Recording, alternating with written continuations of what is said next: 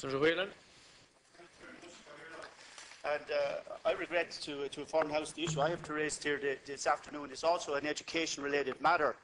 and it may not well be of, on the lofty heights as raised by Senator Barrett regarding the proposed uh, amalgamation of Trinity, the, the esteemed institutions of Trinity and UCD, but nonetheless, every bit is important to, to the people on the ground of Laois, because, uh, and in fact, it has broad-ranging implications across the country. And I know that many people here are involved in education and, and hold the issue near to their hearts. But last night, Laois teachers voted overwhelmingly to go on strike as a result by Laois VEC to force the transfer of two long-serving teachers in total breach of all existing industrial relations mechanisms, all existing IVEA TUI agreements, and the natural justice principle well established in, in, in all uh, labour relations and industrial relations, last in, first out. And I, I'm calling here on the leader to bring it to the attention of the Minister for Education so that he can intervene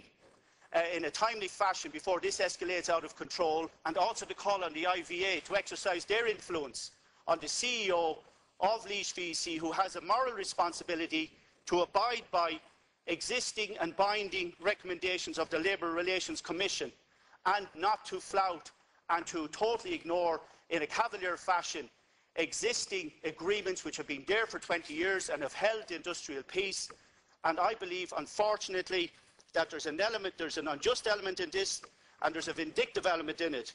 And if it, if it goes to absolute all-out strike in Laois, it will soon spread to the rest of the country with detrimental effects for students and schools all around the country. Thank you very much, Karen.